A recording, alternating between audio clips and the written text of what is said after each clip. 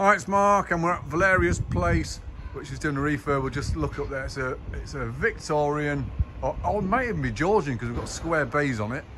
And this is quite a big one because it's on one, one, two, three floors. Let's have a walk inside. We've got a bit of a mess in the garden because we've just started it, uh, stripping out and stuff. We're going to go on the gate. The gate's blooming solid. Look at that gate, it's fantastic. Good old metal gate with metal hinges. You can't beat that. Superb. And the wall's new at the front. It's gorgeous. Absolutely wonderful. And if we're walking in, uh, the front door, good old wooden, wooden front door. It doesn't matter, it doesn't look good yet. It will do when it's finished, of course. We've got a vestibule like these houses often have. And then if we walk in the front room, the stairs are just at the front of us. Walk in the front room, we've got a massive front room. Now, Valeria's started this job, so it's already been sprayed. And we can see it's a huge room, all in white. That's just ready to do. It's blooming marvellous, blooming brilliant. And Valeria's behind me on the camera. You don't want to see us, do you? So Valeria's behind me on the on the camera, walking around with me. There's the stairs. I'll just go up there. Got this archway, which you might be able to see in a second. We've got an archway just there. Absolutely wonderful. That's all original features. And the stairs, what she's done is stripped down the, the staircase.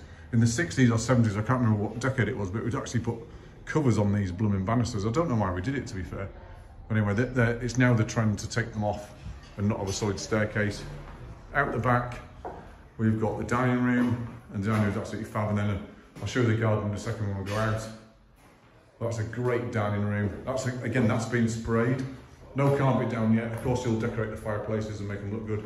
It's had a rewire. You can see by the switches, they're modern switches. That's pretty good. Now this door is on the right way around. You can see the hinges are on this side, so the door opens against the wall. And on these type of houses, sometimes the door's on the wrong way around, so I'm sure there'll be a couple of those. Now this is an odd one. I've not got this on any of my houses, but my houses are smaller than this. This has got a cellar. Now, what we're doing with the cellar is um, doors go in there to block it off. In fact, I can't see my hand there. The doors go in there to block it off. And then this, and then the door on the front here, which you can't quite see, I'll come back a little bit the door there. So this becomes a cloakroom or a cupboard. And then we've got a cloak rack and then we've got coats and Wellington boots and stuff and all that on there. So that kind of disguises the fact it's got a cellar because we don't want to revamp the cellar. I'll take you down there, but it's all dark and stuff and you won't be able to see it. So we'll go round. There's the kitchen. I'll just go outside this back door. The back door's here. And this house has got an alleyway uh, between the houses, which is just there. Nothing happening with that. A lot of people do paint them white uh, and then put a very long strip light in the in the top of them that's on a sensor to come on. But I mean, there's no need to do that for this particular job. We've got concrete posts, we've got decent fence panels, and we've got this massive garden. So what Valeria's doing here, I'll go over there. There's another back door. We've got two back doors on this one. So we've got to repair this back door. And then on this one, we've got an outside loo, which Valeria's job is to make pretty because that's a disgracefully horrible looking outside loo, which was the norm uh, when these houses were built.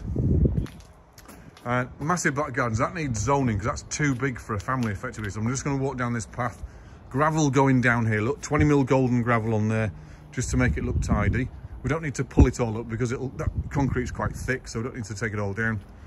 Uh, we've got two plum trees in the back garden. They're actually quite attractive, so they stay. The fence panels, you paint in the same colour, so they're not, they're not different colours, or the screen ones do. And this central path stays because it's a, again, this is an incredibly thick path, so we don't need to take that, that up. Vegetable patch going there because we don't want to take the wall out or anything, or you know all of that stuff out. So we'll leave that there. And then what Valeria's doing is putting two panels across here, and I'll do it on that side as well.